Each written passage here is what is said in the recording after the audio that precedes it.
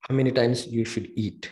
If you eat frequently the level of insulin in your body is persistently elevated which lead to insulin resistance and obesity diabetes. And if you eat less frequently your insulin get rest its sensitivity is maintained and incidence of obesity and diabetes is reduced. So you have to eat two to three times a day in a short window of eight hours. So you should have a breakfast you can have a lunch and have a dinner before six o'clock.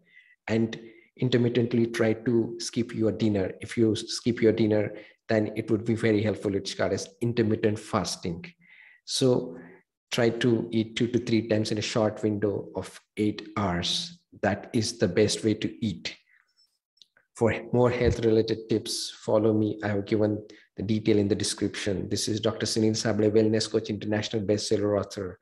Signing off for now. Have wonderful